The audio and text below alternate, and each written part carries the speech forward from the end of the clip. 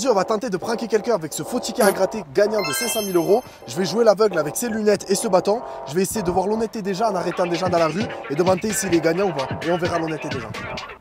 Attention, monsieur, le trottoir. hein. Ah, il y a un trottoir Il y a un trottoir juste devant là, monsieur. Ah, juste devant. Attendez, je vais vous guider. je vais vous Ouais, guider. ouais. Attendez, là. monsieur, j'ai une question. Euh, Ouais, attendez, il y a la route juste derrière, monsieur. Ok, merci. On va rester là, c'est bon. Oui, Je sors du bureau tabac et j'ai un ticket à gratter. Vous pouvez regarder s'il est gagnant, s'il vous plaît c'est ça? Oui. Attendez, monsieur, parce que là, vous êtes en train Ah, de- pardon, excusez-moi. Je cherche le trottoir. Alors, euh, c'est un cash, c'est un cash. Je crois qu'il est gagnant, non? Vous À ton avis, il va mentir? Regarde la tête qu'il fait. pouvez me dire?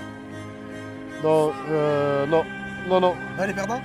Celui-là, il est perdant, ouais. Il Vous est êtes perdant, sûr Bah, comme 97% des cas, vous savez. Ah, euh, vous pouvez me le rendre, s'il Mais vous je plaît? vais vous inquiétez pas, je vais vous en débarrasser. Monsieur, s'il vous plaît, vous pouvez me le rendre?